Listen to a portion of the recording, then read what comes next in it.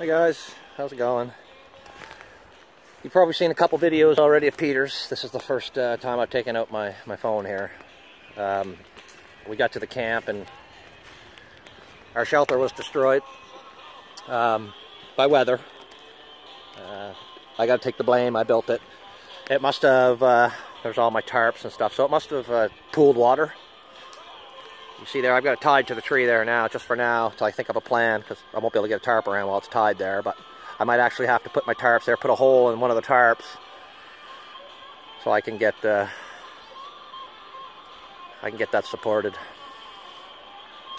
It's a little, humidity is probably, I don't know, 90% right now. Everything is soaked. It always seems to be like that when we come out here. Uh, it's long weekend, Easter weekend, but it's the weather's forecast to be junk rainy, windy. Uh, it was quite the boat ride over. Got really windy. It was wet, raining on us.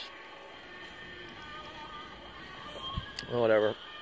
Peter just gathering some stuff there. We're going to get a fire going. We've been here for about half hour, 45 minutes, but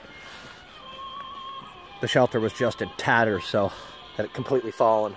I had to get all the tarps off, get the frame. It's really just kind of sitting there being tied to the tree there right now, so I'm not sure. I'll have to probably figure out a way to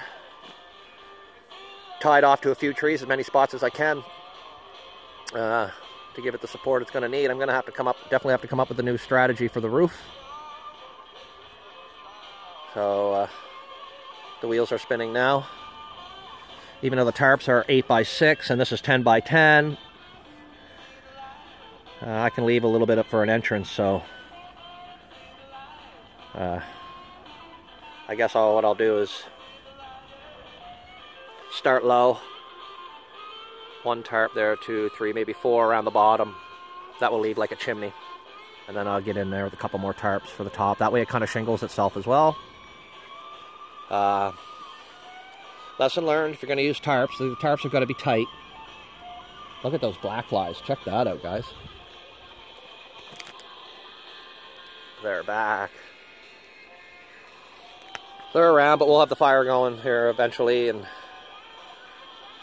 the bugs will stay away from the smoke. Anyways, guess I'll uh, just gonna have a have a beer and back to the drawing board on the shelter.